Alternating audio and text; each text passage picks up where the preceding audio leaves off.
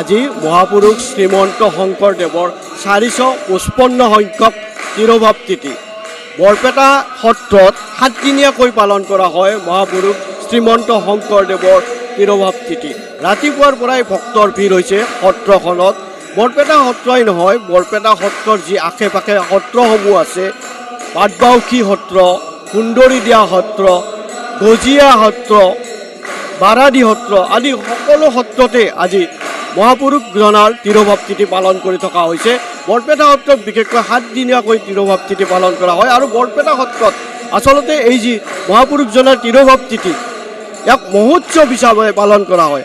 বৰপেটা সত্ৰৰ যি তিৰোভাৱ তিথি তিৰোভাৱ তিথিৰ মহোৎসৱক কীৰ্তন মহোৎসৱ বুলি কোৱা হয় বৰপেটা সত্ৰত। আচলতে মহাপুৰুষজনাই যি আমাক কৃষ্টি সংস্কৃতি দি গৈছে তাক ক'ব লাগিব। কাৰণ আজিৰ পৰা পাঁচশ বছৰ আগতেই মহাপুৰুষজনাই যি আমাক কৃষ্টি সংস্কৃতি দি গৈছে অসমীয়া জাতিক সমৃদ্ধ কৰি গৈছে তাৰ আজি গুণানী কীৰ্তন কৰা হৈছে আৰু ৰাতিপুৱাৰ পৰাই ভক্তৰ ভিৰ হৈছে। বৰপেটাবাসীয়ে আজি বৰপেটা সত্ৰত সেৱা ল'বলৈ আহিছে। প্ৰতিজন লোকে সেৱা এটা ল'বলৈ আহিছে। গুৰুজনাৰ শ্ৰীচৰণত সেৱা লৈছে। আৰু ক'ব লাগিব মহাপুৰুষজনাই যি সত্ৰ নিৰ্মাণ কৰিছিল সত্ৰ স্থাপন কৰিছিল আৰু সত্ৰৰ দ্বাৰাই যি বৈষ্ণৱ ধৰ্ম প্ৰচাৰ কৰিছিল আৰু বৈষ্ণৱ ধৰ্ম প্ৰচাৰ কৰাই নহয় যি আমাক কৃষ্টি সংস্কৃতি দি গৈছে তেওঁ নাটক নাটকৰ জৰিয়তে চিহ্ন যাত্ৰাৰ জৰিয়তে তেওঁ মুখা মুখা তৈয়াৰ কৰিছিল আৰু এনেধৰণে যি ৰচনাৱলী ৰচিছিল বৰপেটাতে বিশেষকৈ তেখেত বহু সময় বহু কাল আছিল আৰু দুয়োজনা গুৰি আচলতে বৰপেটাতে আছিল। মহাপুৰুষ শ্ৰীমন্ত শংকৰদেৱ আৰু মাধৱদেৱ। আৰু ইয়াতে সকলো ৰচনা কৰিছিল আৰু ইয়াৰ পৰাই যি ভক্তি আন্দোলন ভক্তি আন্দোলন গঢ়ি তুলিছিল লগতে সমাজ ব্যৱস্থাকো সমানে আগবঢ়াই লৈ গৈছিল।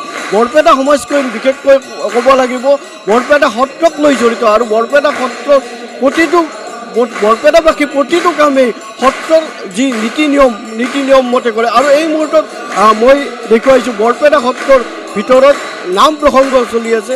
আৰু ৰাতিপুৱাৰ পৰাই ভক্তৰ ভিৰ হৈছে। গোটেই সত্ৰখন যি মূল কীৰ্তন ঘৰ মূল কীৰ্তন ঘৰ আচলতে আজি ভৰি পৰিছে প্ৰতিজন লোকে আহিছে অলপ নাম কীৰ্তন কৰিছে তেওঁ গুণানী কীৰ্তন কৰিছে। এই মুহূৰ্তত ডেকা সত্ৰীয়া গৌতম পাঠকে নাম কীৰ্তন কৰি আছে আৰু আমি দেখুৱাইছোঁ সেই মুহূৰ্ত।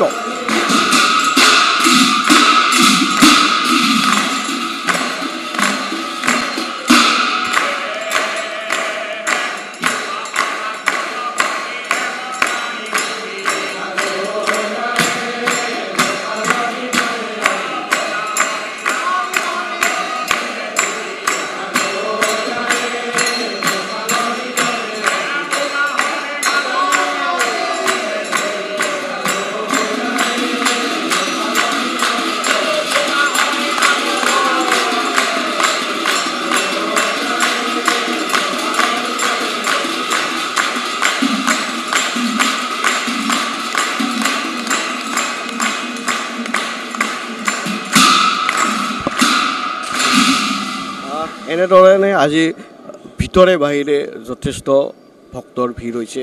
বৰপেটা সত্ৰত সেৱা জনাবলৈ প্ৰতিজন লোকে আহিছে।